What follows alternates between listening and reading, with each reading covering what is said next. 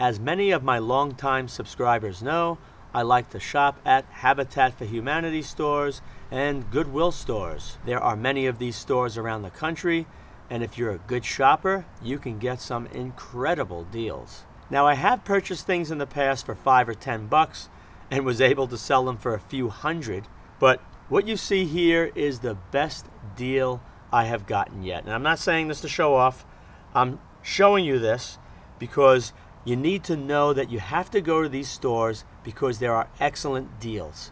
It's not just for me, you can go there and find deals like this too, as long as you know what to look for. So I went into this tool section of a Goodwill store, and there was a pile of power tools. In the bottom of that pile was this crimp tool you see here, made by Burndy. Now, as soon as I saw the name Burndy, I knew it was the tool that linemen use, and they also use these in shipyards for DC applications for crimping battery cables. But I knew that name, and I knew it was big money. This sells for Take a look right over here. The cheapest I found was around $2,500 and the price at Grainger, $3,000. I paid 25 bucks. An absolute steal.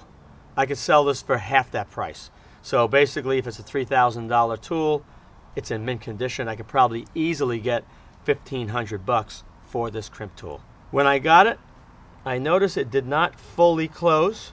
It would start to go, hesitate, then go. So I know it needed to be bled. I called up the company. They told me the process, but they said for this particular model, you need a special bleeding apparatus in order to get every little air bubble out of the hydraulic pump. I didn't have it. I attempted to do it. I only made it worse. It was closing less and less. So I found a company for only 90 bucks took the tool, bled it, changed the fluid, inspected it. So the whole cost for me was 115. Works incredibly well. You push this right here.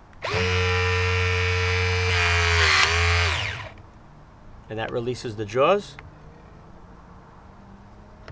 If you take a look right here, my friend across the street that passed away a while back, Rose, she had a problem with a power line.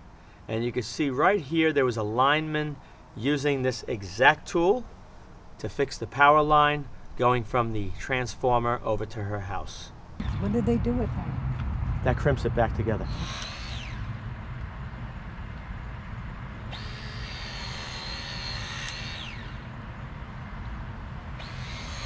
When I got this, it did not have a battery, and when you purchase it, it does not come with this battery.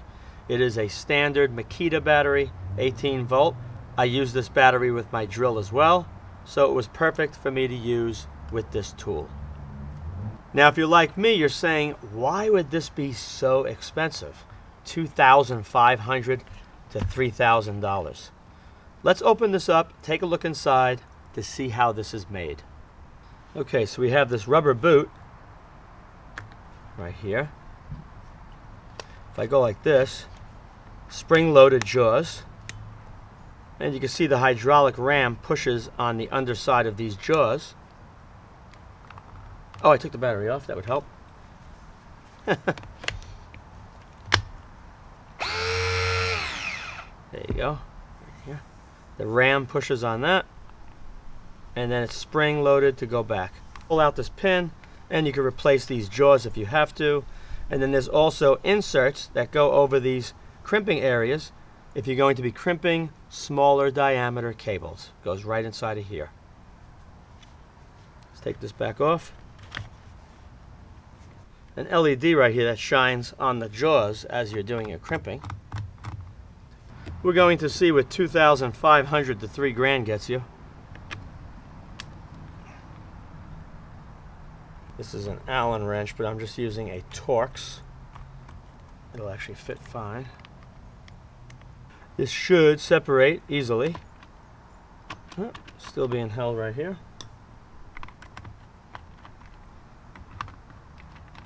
That's good.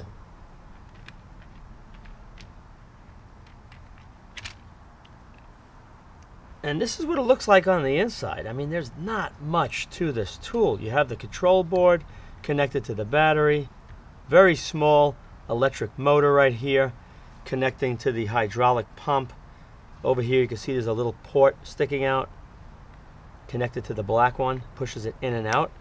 And what that does, once the ram pushes all the way forward, making this close, when you push that, it lets the fluid behind that ram drain so the jaws can open up with the spring-loaded action. You have this boot right here, which is the reservoir, LED light, and then just a safety for the switch, prevents this from pushing in, triggering the tool accidentally. And that's it. It doesn't look too difficult to work on, but like I said, it is a problem to have to bleed this because the air bubbles could be trapped in certain ports. You just can't hold it upright and let the bubbles go up. Doesn't work that way with this model. So that is a little bit of a pain in the neck. Other models of the Patriot crimpers, you can do it fairly easy, but not this one. So a great tool, well made. I don't see 2,500 bucks to three grand here, maybe 400 bucks, but the linemen need it and people will pay it. So the next time you see a Goodwill store, Restore, or any other kind of a store, I know out west they have stores called DI. You're going to want to go in, take a close look at all the stuff in the store, including the power tools and electronics. The odds are very good that you're going to find something like I did that's worth a lot of money.